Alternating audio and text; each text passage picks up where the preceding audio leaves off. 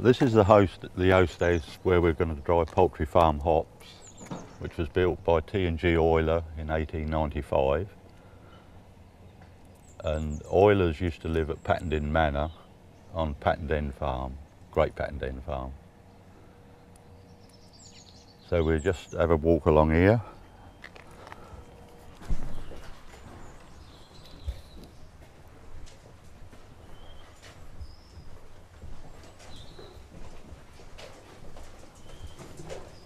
These are our three drying units, which was put in by Drake and Fletchers in 1963. Before these there was other oil burners and before those there was, they was dried by coal fires. The other oil burners were around the front. These are known as pusher, these have got pusher fans in them, which means that the hot air is pushed up through the ops. The oil burners before that was had puller fans, which meant there was a big fan up in the kiln which pulled the hot air up through. So we just go along to the front and point out where they were. Now where each of these three doorways are into the bottom of the kilns, that's where the, um, the, the older oil burners were, and before that the coal fires. And each side of, when the coal fires were there, each side of that door was another door, so you could go each side of the fire to make it up with uh, Welsh anthracite coal. The, um, the coal fire had a canopy over it, so it dispersed the evenly in, in, in the kiln itself. Now up until 1980, we used to burn uh, brimstone, which Uh, how the, how the colour of the hops. And here we have a, a brimstone pan somewhere. This is a brimstone pan. And we'd probably put five of those in a kiln. And for each load we'll put in about 15 kilos of, of brimstone.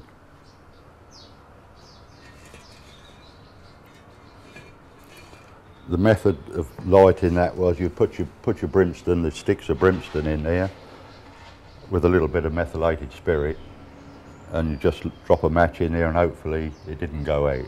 If it went out you had to go back in there to relight it.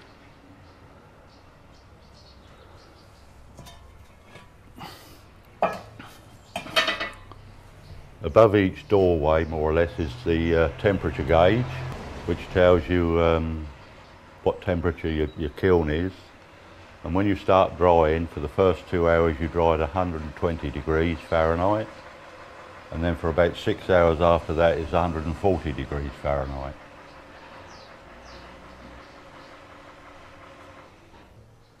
Okay. We're now inside the bottom of the kiln, underneath a slatted floor. This is where the heat comes in.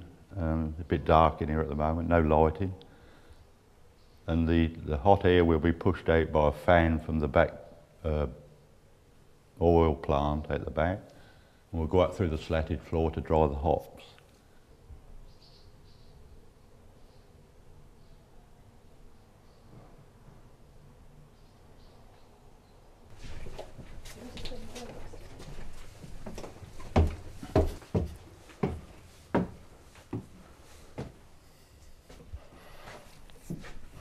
This is called the pocket room floor. This is where all the full, full pockets, when they've been pressed, are usually stored in here. But as you can see, because we don't grow many hops now, the furniture seems to have taken over. The shuttering up at the louvers and the windows were made for a blackout during the war. Number seven and number eight are, are blocking the light out of the window. Number six is over a louver and number four and number three are not over the window.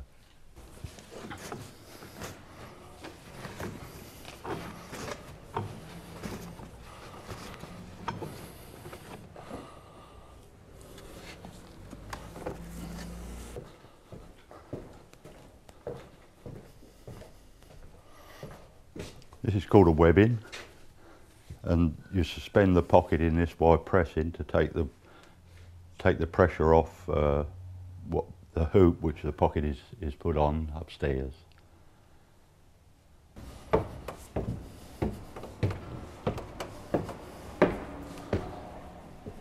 We are now in the cooling room floor, which is the floor where when the hops are cooked, they're pulled out in a lump between these two presses, which will be tomorrow morning.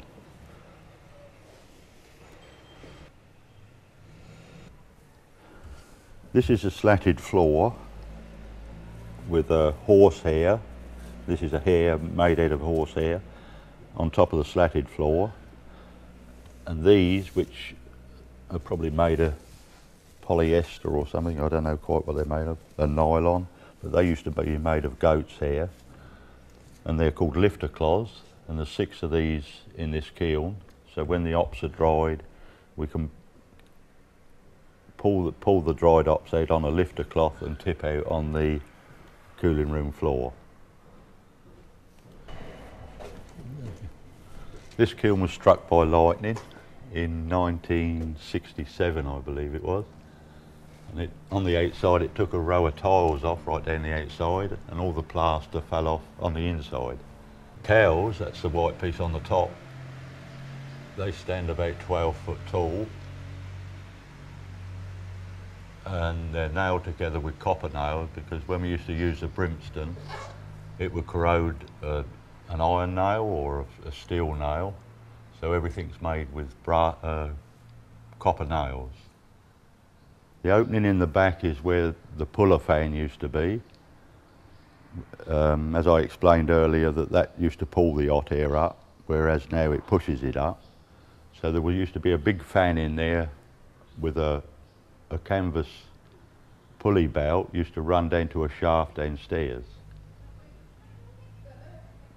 when this was, when the modern uh, oil burners were put in, you could put a bigger load on, and therefore uh, to get the reek off, you have to have enough ventilation. So that has been made into a vent where that fan used to be, and also it goes out the top, out through the cowl. And here are the hops arriving now from the hop picking shed, ready for loading into the uh, into the kilns. This is the last of the 2007 crop.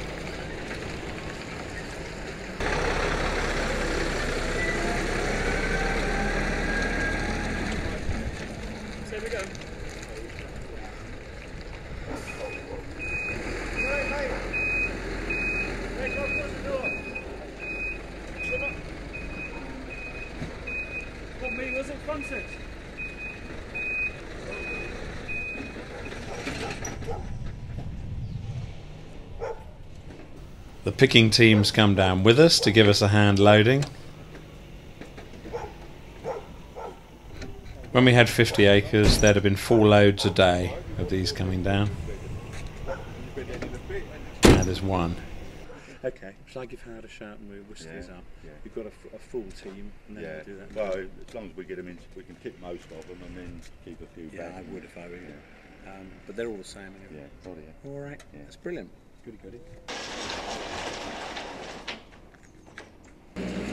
Again, historically, the hops would have been hoisted up on a winch up into the uh, up to the top floor. Um, now, thanks to I suspect health and safety, we do it using a different system where they're placed on a pile of pallets and lifted up on a forklift, so that if anything falls, everybody's under cover. Nothing can fall on anybody. It probably should be the other way around, but actually we'll do it this way because it's safer than when they're right.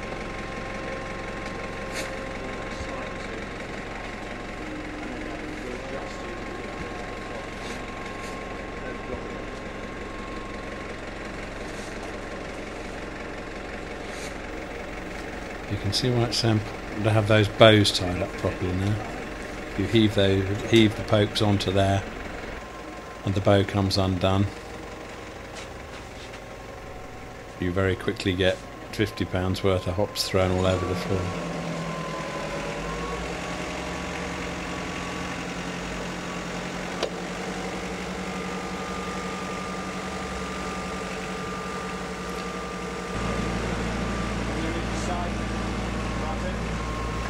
Team in the Ace House then pull the hops into into the uh,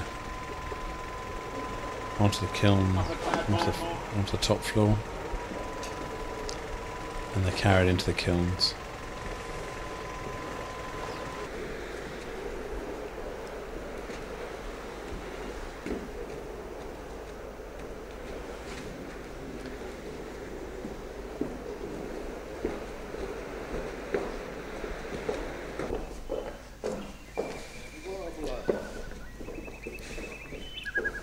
The idea is to put the hops in in rows as far as possible to end up with a reasonably even layer on the floor.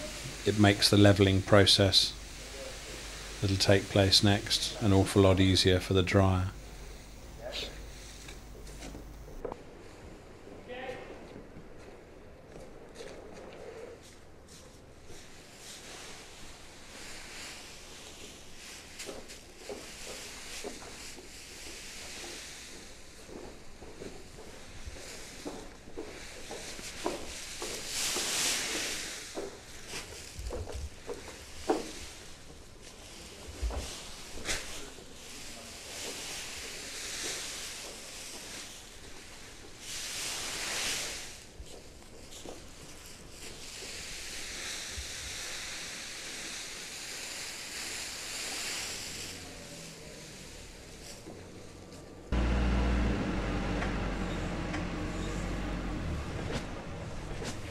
How old is this oast house, Trevor?